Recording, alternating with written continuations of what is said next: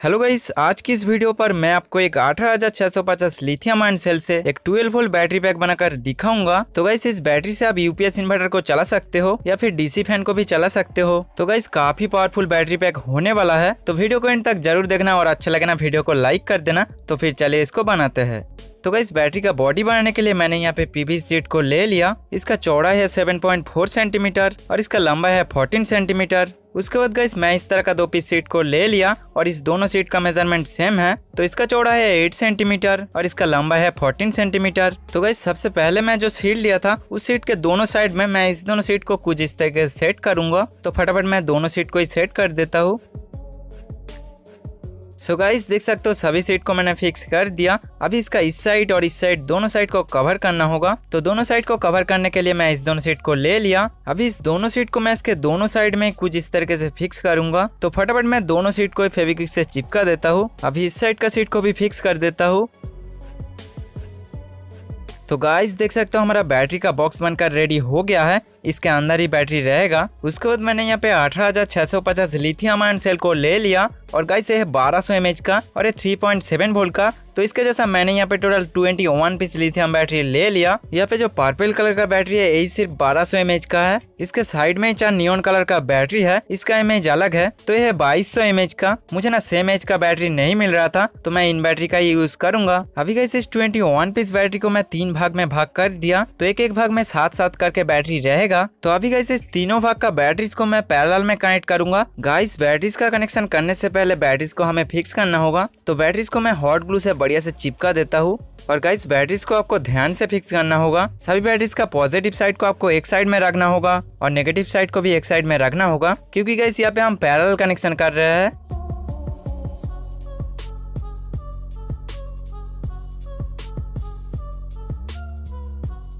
तो गाइस देख सकते हो, सभी बैटरीज को मैंने फिक्स कर दिया। अभी हमें इसका कनेक्शन करना होगा। कनेक्शन करने के लिए मैंने यहाँ पे कॉपर का वायर को ले लिया। और गाइस आपको यहाँ पे थोड़ा सा हैवी गेज का वायर लेकर कनेक्शन करना होगा। तो गाइस आपके पास अगर स्पॉट ऑयलिंग मशीन है तो आप उससे ही कनेक्शन करना। मेरे पास तो स्पॉट ऑयलिंग मशीन नहीं है, इसीलिए मैं सोल्डिंग आयरन से ही कनेक्शन कर रहा हूँ। और गाइस आप भी अगर सोल्डिंग आयरन से ही कनेक्शन कर रहे हो तो आपको ध्यान से कनेक्शन करना होगा। तो सोल्डिंग आयरन को आपको बैटरी के ऊपर ज़्यादा देर तक पकड़ कर नहीं रखना है। नहीं तो गाइस हीट की वजह से बैटरी डैमेज हो सकता है।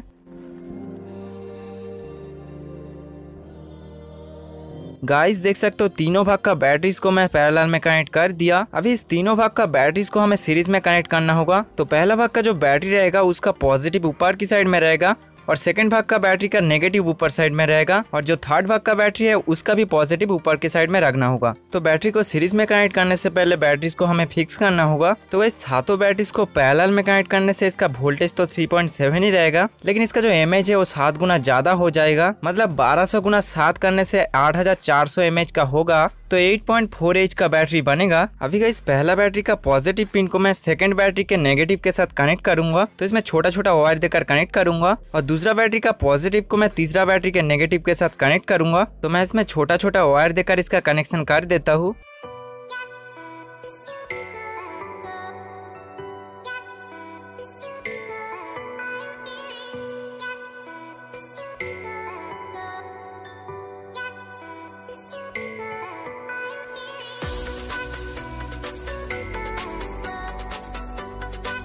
तो गाइज़ मैं इसको सीरीज़ में कनेक्ट कर दिया। तो अभी गाइज़ इस दोनों पिन में मल्टीमीटर लगाकर एक बार चेक कर लेता हूँ। ट्वेल्व वोल्ट आ रहा है या फिर नहीं। तो गाइज़ देख सकते हो eleven point seven volt show हो रहा है। मतलब इसमें फुल चार्ज नहीं है। फुल चार्ज हो जाने के बाद इसमें twelve point six volt output में मिलेगा। तो कनेक्शन एकदम ठीक ठाक ही है। अभी गाइस इस बैटरीज का चार्जिंग के लिए और प्रोटेक्शन के लिए हमें एक बीएमएस चाहिए। तो मैंने यहाँ पे इस थ्री एस फोर्टी एम्पेयर का बीएमएस को ले लिया। तो इसका कनेक्शन बहुत ही ईजी है। इसमें सारा कुछ प्रिंटेड है। यहाँ पे ज़ीरो वोल्ट का पिन और यहाँ पे फोर पॉइंट टू वोल्ट का और यहाँ पे ट्वेल्व पॉइंट सिक्स वोल्ट का और यहाँ पे एट पॉइंट फोर वोल्ट का। तो पहले बीएमएस को हमें बैटरी के साथ फिक्स करना होगा। तो मैं इसके ऊपर हॉट ग्लू दे देता हूँ। अभी बैटरी के ऊपर कुछ इस तरीके से चिपका देता हूँ। अभी कैसे इसका कनेक्शन करना होगा। तो अभी मैं ज़ीरो वोल्ट पिन के साथ और 4.2 वोल्ट पिन के साथ छोटा छोटा वायर देकर फटाफट सोल्डिंग करके कनेक्ट कर देता हूँ। अभी ज़ीरो वोल्ट का वायर को मैं इस पिन पर कनेक्ट कर दिया और 4.2 वोल्ट का वायर को मैं इस पिन पर कनेक्ट कर दिया और 8.4 वोल्ट का वायर को मैं इस पिन पर कनेक्ट कर दिया और 12.6 वोल्ट का वायर को मैं इस पॉजिटिव पिन पर कनेक्ट कर दिया। गाइस देख सकते हो बीएमएस को मैं बैटरी के साथ कनेक्ट कर दिया और आप भी आसानी से कर सकते हो।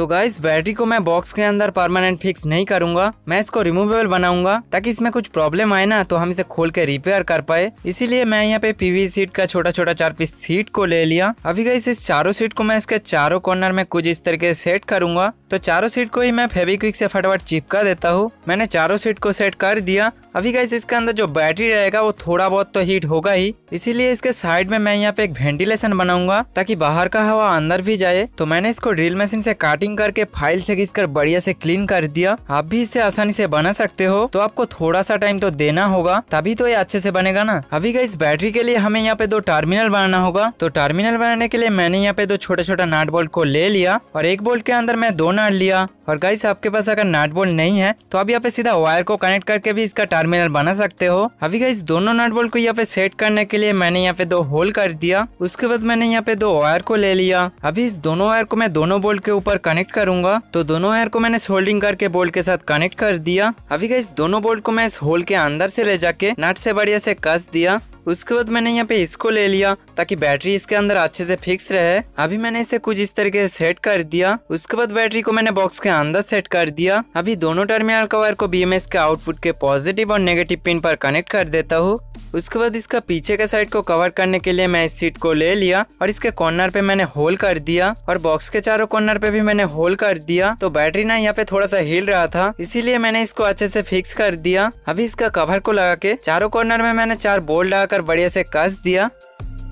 सो गाइस देख सकते हो हमारा बैटरी बन गया है, लेकिन ऐसे ही अच्छा नहीं लग रहा है। तो मैंने इसको स्प्रे पेंट से कलर कर दिया, इसका टॉप पे मैंने नियोन कलर कर दिया, और नीचे का साइड को मैंने छोड़ दिया, क्योंकि ऐसे ही दोनों कलर काफ़ी अच्छा लग रहा है। अभी दोनों बोल्ट के साथ मैं नाट को लगा लेता हूँ। तो गाइस दोनों टर्मिनल को देखकर समझ में नहीं आ रहा है कौन सा पॉजिटिव है और कौन सा नेगेटिव है। इसीलिए मैंने नेगेटिव टर्मिनल के पास में ब्लैक टेप को चिपका दिया, और पॉजिटिव के पास में रेड टेप को चिपका दिया। अभी साफ़ साफ़ दिखाई दे रहा है कौन सा नेगेटिव है और कौन सा पॉजिटिव है। तो चलिए गाइस अभी इस बैटरी को हम चार्ज कर लेते हैं। तो चार्ज करने के लिए मैंने एडेप्टर को बोर्ड पर कनेक्ट कर दिया। अभी कैसे इस चार्जिंग केबल के साथ जो क्लिप लगा है, इसे मैं बैटरी के साथ कनेक्ट करूँगा। तो पॉजिटिव को मैंने पॉजिटिव टर्मिनल में कनेक्ट कर दिया और नेगेटिव को नेगेटिव के साथ कनेक्ट कर दिया। अभी इसको थोड़ा देर चार्ज कर लेता हूँ। चलिए इस बैटरी का वोल्टेज को चेक करते हैं। चार्ज करने के बाद कितना वोल्ट इंक्रीज हुआ है? तो गाइस देख सकते हो 12.2 वोल्ट शो कर रहा है। तो ये 12.6 वोल्ट पर फुल चार्ज होता है। तो मैं इसको और भी थोड़ा सा चार्ज कर लेता। तो ये फुल चार्ज हो जाता। तो मैंने यहाँ पे 775 डीसी मोटर को ले लिया। अभी इस बैटरी से मैं इस मोटर को चलाकर दिखाऊँगा। तो ये काफ़ी हाई टॉर्क का मोटर है। तो गाइस देख सकते हो मोटर का वायर को बैटरी के साथ कनेक्ट करने से काफ़ी ज़ोर से चिंगारी फेंक रहा है। और मोटर भी काफ़ी हाई स्पीड में घूम रहा है। चलिए गाइस अभी इस बैटरी से मैं कुछ हैवी लोड चलाकर दिखाऊँगा। तो मैंने यहाँ पे एक 200 वाट का यूपीएस इन्वर्टर का किट को ले लिया और इसके साथ मैंने सॉकेट भी कनेक्ट कर दिया। अभी इसका वायर को मैं बैटरी के साथ कनेक्ट कर देता हूँ। तो गाइस देख सकते हो इन्वर्टर में रेड एलईडी जल रहा है तो ये अभी ऑन है। चलिए अभी इससे कुछ लोड चलाएँगे। तो मैंने यहाँ पे मेरा फ़ोन का चार्जर को ले लिया। अभी इसको सॉकेट के साथ कनेक्ट कर देता हूँ। मैंने यहाँ पे पावर बैंक को ले लिया। तो मैं इसको चार्ज करके दिखाऊँगा। तो चार्जर का केबल को मैं पावर बैंक के साथ कनेक्ट कर देता हूँ।